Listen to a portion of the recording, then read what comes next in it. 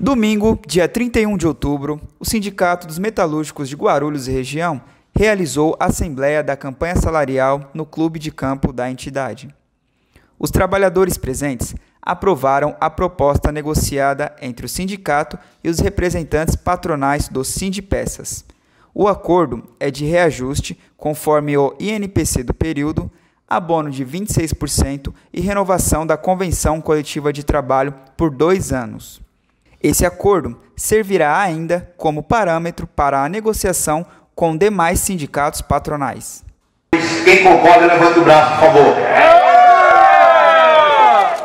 Cabeça, nas atuais conjunturas que o nosso país atravessa, a proposta foi muito boa, né? É, foi uma proposta razoável, é, levando em consideração que nós conseguimos o INPC completo, né? Vai passar de 10% aí o período inflacionário da nossa database. E o mais importante também é renovar a convenção coletiva desse setor de autopeças por dois anos, as cláusulas sociais. Então 2022 2023 essas cláusulas estão renovadas, garantindo a manutenção dos direitos desses trabalhadores desse setor.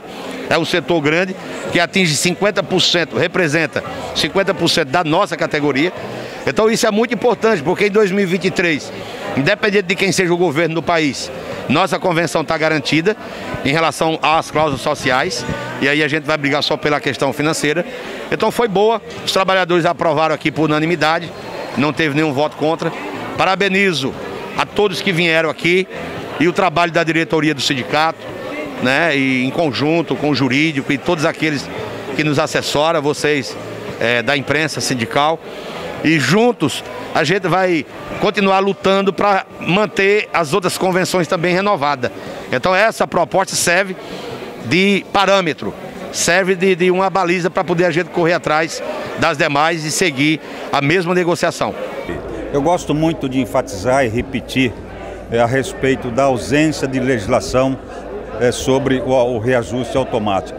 Se voltarmos 30, 40 anos atrás, a legislação obrigava o reajuste salarial de forma automática. Agora, há 30, 40 anos atrás que não existe mais essa obrigatoriedade. Por isso que é importante que valorizemos a negociação coletiva, porque é o único instrumento que obriga depois de fechada a negociação, a, a, a, efetuar o reajuste salarial? Eu achei que foi uma proposta muito boa, né? Devido à a, situação do nosso país, que está uma situação difícil com a pandemia e, e esse reajuste foi uma forma de uma resposta, né? Porque está um, muito defasado o salário na, nas metalúrgicas e o sindicato correu atrás e conseguiu um, uma boa forma de bater de frente com a inflação, né? Não é muito em relação ao que está acontecendo, mas já é um grande passo, né?